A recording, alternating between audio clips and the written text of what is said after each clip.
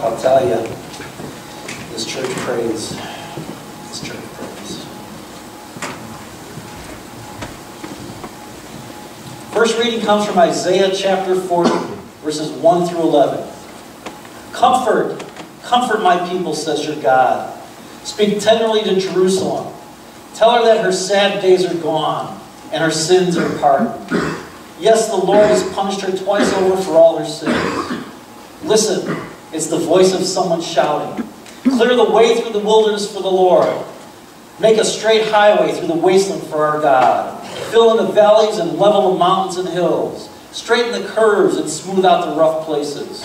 Then the glory of the Lord will be revealed, and all people will see it together. The Lord has spoken. A voice said, Shout. I asked, What should I shout? Shout that people are like the grass. Their beauty fades as quickly as the flowers in a field.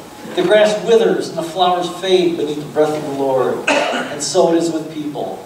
The grass withers and the flowers fade, but the word of our God stands forever. O Zion, messenger of good news, shout from the mountaintops. Shout it louder, O Jerusalem. Shout and do not be afraid. Tell the towns of Judah, your God is coming. Yes, the sovereign Lord is coming in power. He will rule with a powerful arm. See, he brings his reward with him as he comes. He will feed his flock like a shepherd. He will carry the lambs in his arms, holding them close to his heart. He will gently lead the mother sheep with their young. And our second reading comes from Mark chapter 1, verses 1 through 8. This is the good news about Jesus the Messiah, the Son of God. It began just as the prophet Isaiah had written. Look, I am sending my messenger ahead of you, and he will prepare your way. He is a voice shouting in the wilderness. Prepare the way for the Lord's coming. Clear the road for him. This messenger was John the Baptist. He was in the wilderness and preached that people should be baptized to show that they had repented of their sins and turned to God to be forgiven. All of Judea, including all the people of Jerusalem, went out to see and hear John. And when they confessed their sins, he baptized them in the Jordan River. His clothes were woven from coarse camel hair, and he wore a leather belt around his waist. For food, he ate locusts and wild honey. John announced, Someone is coming soon who is greater than I am. So much greater that I'm not even worthy to stoop down like a slave and untie the straps of his sandals. I baptize you with water, but he will baptize you with the Holy Spirit. This is the word of God for the people of God. Praise be to God. Amen. So we're in the second week of, of Advent. And Advent is all about preparation. It's all about getting ready. About preparing ourselves for the arrival of God in our life. I, I think that these two readings are, are perfect for today. They, they prepare us for the arrival of Jesus just 17 days away. Seven, 17 shopping days away, so get busy. Because Addie's waiting. now, I, I, referenced both of these readings last week, and, and I thought we should get a little bit deeper into them this week. Because it talks about John the Baptist who led the way for Jesus. Just like we can lead the way for the arrival of Jesus in other people's lives. I also see Christians, today's Christians, in these readings. In the first verse of Isaiah, the prophet gets a directive from God to comfort his people. He says, Comfort, comfort my people, says your God. Speak tenderly to Jerusalem and proclaim to her that her hard service has been completed, that her sin has been paid for, that she has received from the Lord's hand double for all her sins. Now, what would give anybody a lot of comfort when you think about it? What brings comfort to you? Having all your bills paid? Mm. Having a job you love? World peace? No presidential election commercials? that would bring me a lot of peace. And they haven't even started yet. And I believe that true peace would come to somebody if they knew that all their sins were forgiven. And that they knew where they were headed. Wouldn't that bring you a sense of calm? To know that no matter what you've done, that you can be forgiven. If you just ask Jesus into your life and say, I repent. That's all it takes. That's all it takes. That's the message that God is, is telling Isaiah today. He's saying, You have this great gift. Give it to people. And people, you have this great gift available to you. Just take it. Just like that slide says, God gives it to us freely. We don't have to do a thing. We don't have to be perfect to get it. We just have to say, Lord, save me. And that's that's all he wants. But there's one other thing we need to, to hear. He says sin. Now we know in, in our study of the Old Testament, Bible 101, that the Israelites, like us, they sin over and over. And we're getting into Numbers, and that's where we're really going to see. Sin, repent, repeat, over and over again. But here God says sin. Singular. He wants us to know that there's only one unforgivable sin. And that's when we turn our back on Jesus. So as we prepare to, to receive Him this Christmas season, we have to make sure we're really bringing Him in. That there's nothing between us and Him. And Jesus tells us the same thing in Mark. Mark chapter 3, verse 28. He says, Truly I tell you, people can be forgiven all their sins and every slander they utter, but whoever blasphemes against the Holy Spirit, that will never be forgiven. They are guilty of eternal sin. Now, what, what Jesus is saying is, when you, when you turn your back on the Holy Spirit, what you're doing is you're turning your back on the Holy Spirit's witness that Jesus is Lord. So basically, you're saying, Jesus, I don't need you. And of course, that's the only unforgivable sin. When you turn your back on Jesus, there's nothing left. You're totally empty. Here's what Jesus said about the Holy Spirit in John 16.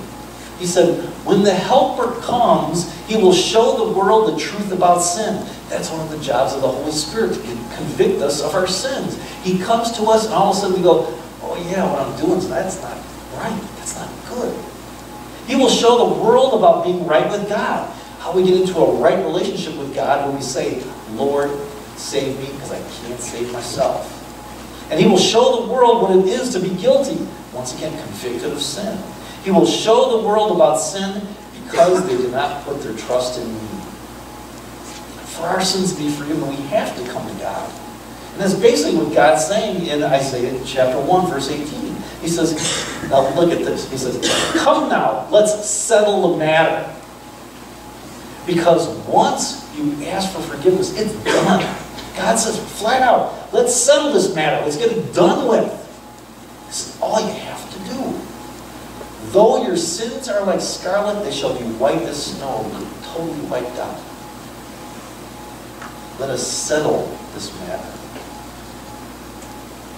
To come to God and to make it easy for others to come to God, we've got to remove all the obstacles. In verse 3 of today's reading from Isaiah, we hear a voice of one calling. In the wilderness, prepare a way for the Lord. Make straight in the desert a highway for our God. Out in this wilderness that our people are living in, they don't know where to turn.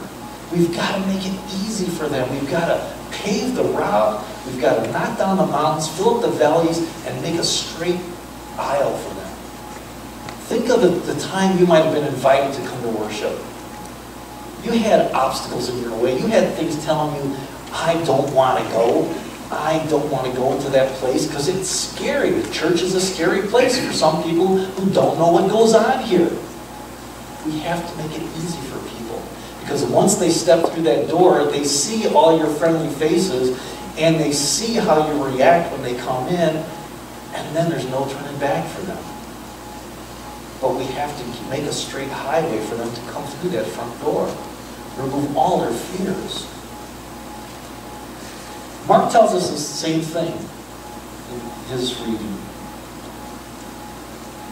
But he's also talking about us. In Isaiah 40, we, see, we hear, Every valley shall be lifted up, and every mountain hill made low, and every uneven ground shall become level, the rough places a plain.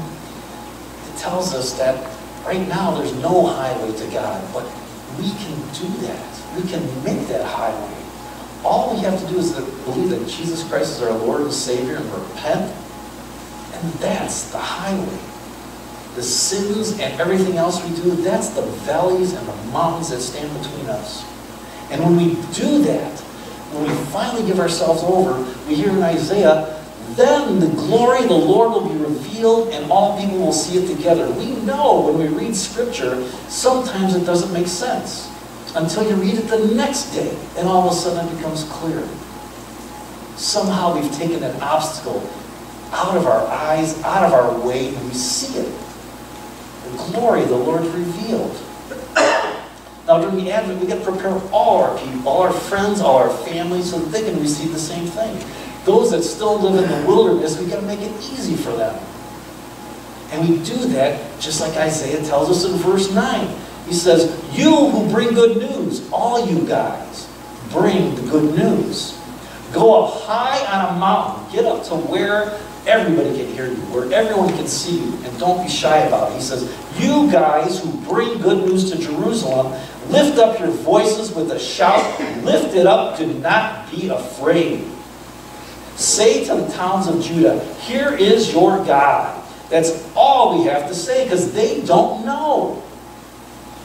We get these little kids in Awana and they have no idea who God is.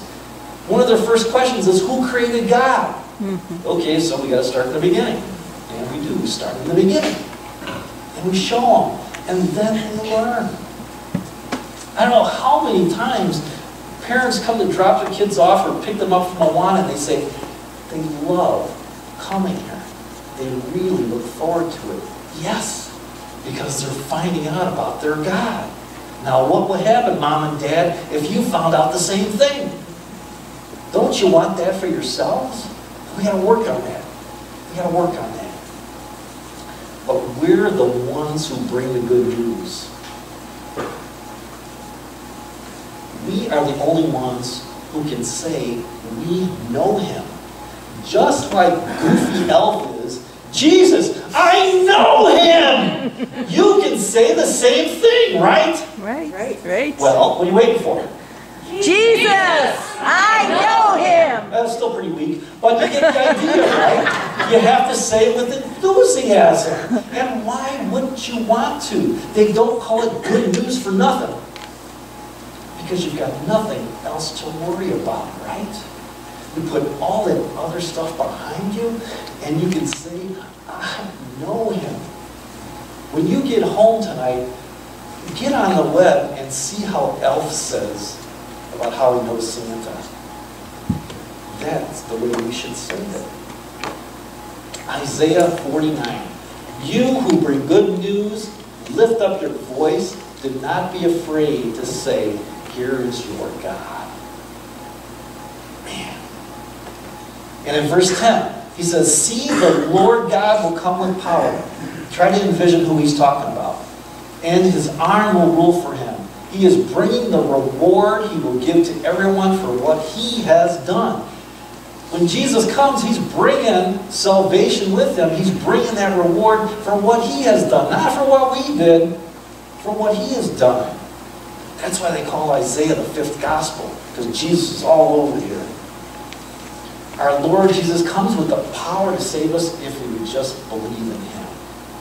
That's all we have to do, right? Jesus brings his reward, the guarantee of salvation. It's the only place we can get it from because of what Jesus has done for us. What does Jesus tell us in John 14?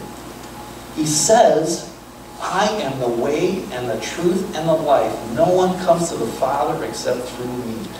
Clear as day. There's only one way. And the clincher, so we know who Isaiah is talking about, look at verse 11. He tends his flock like a shepherd. He gathers the lambs in his arms and carries them close to his heart. He gently leads those who have young.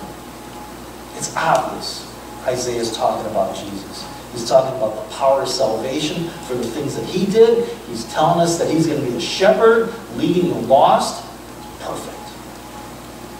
In our second reading, Mark references the Old Testament prophets Isaiah and Malachi. He's actually, he's, he gives all credit to Isaiah, but he's actually um, talking about Malachi's writing too. He tells us in verse 1, This is the good news about Jesus the Messiah, the Son of God. It began just as the prophet Isaiah had written. But if you look at scriptures, like I said, he's really talking about Isaiah and Malachi's writing. He's combining Isaiah, the greatest prophet, but he's also Malachi, who's the last prophet that the Israelites heard from for 400 years. 400 years until John the Baptist came. God says, I will send my messenger who will prepare the way before me. Then suddenly the Lord you are seeking will come to his temple. The messenger of the covenant whom you desire will come, says the Lord Almighty. Clearly talking about Jesus. I will send my messenger who will prepare the way for me. Because God the Father never comes down to earth. He comes down to earth as Jesus. John the Baptist was his messenger preparing the way for Jesus. And then the Father reinforces the same message in the second part of verse 3.1. Then suddenly the Lord you are seeking will come to his temple, the messenger of the covenant. If you break it down, it gets really cool. Suddenly, like I said to the children, remember when Mary visited Elizabeth? Neither John or Jesus were born. But Joseph, John can sense Jesus next to him. And he jumped for joy. That's how suddenly it was. Because John is just a little bit older than Jesus. The Lord you are seeking will come. Hebrews, for years and hundreds of years and thousands of years, were waiting for Jesus anxiously, and John showed it. He couldn't even contain himself. He couldn't even wait to be born to start worshiping. He leapt for joy. Here's what we hear in Luke chapter 1, verse 41.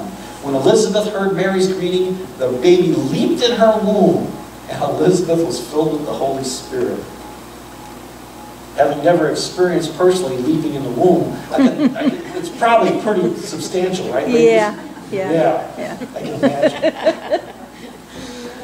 So, so she was filled with the Holy Spirit too, because she knew if John is jumping for joy, that something really great must be happening. Man. You see how the Old Testament and the New Testament are just intertwined? We have to read them together. And when John came, he practiced the baptism of the repentance of sins. Now, Jews never did that before. What they would do is they would baptize Gentiles who wanted to become Jews, but they never baptized of repentance. So John's doing something brand new here. And he had to, because people had to get ready for Jesus. The- these two readings were given to us today because this is what we need to do. We need to prepare the way for our friends and family. We need to shout from the highest mountain that God is your God too, not just ours. And He's not something that we're just going to hold on to for ourselves. We actually have to share it. We have to do what God tells us in Isaiah chapter 40, verse 9, where He says, O Zion, messenger of good news, shout from the mountaintops. Shout it louder, O Jerusalem. Shout and do not be afraid. Tell the towns of Judah, your God is coming. And like Elf, we're going to say what? Jesus, I know him. Jesus, I know him. That's what I want to hear. Start next week. Well, start tomorrow. Okay. Our Father.